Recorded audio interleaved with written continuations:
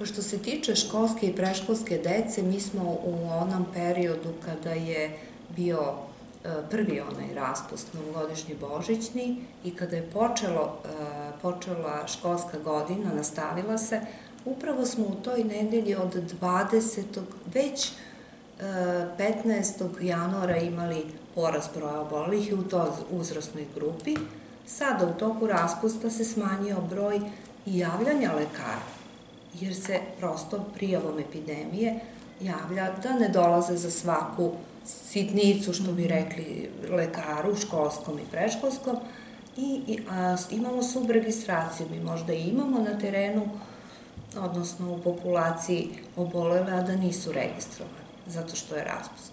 Teško je predviđati, ne znamo tačno koji broj dece je preležao grip, odnosno koliko je ostalo osetljive dece, neće se sva ni razboleti, ali negde podaci e, sa terena zvanično nezvanični su da su i pola odelenja i trećina odsustvovala deca.